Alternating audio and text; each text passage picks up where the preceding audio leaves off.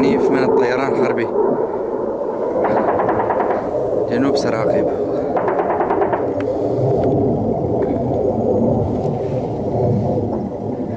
ثلاثين تسعة ألفين وثلاثة عشر.